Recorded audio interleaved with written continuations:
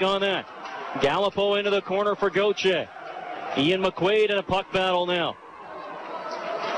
Puck stolen and Doucette got it up the near side. Jelena stepped in front of his man. Now he got a scrap.